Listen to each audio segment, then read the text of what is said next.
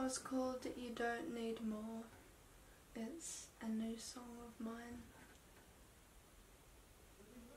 That's it.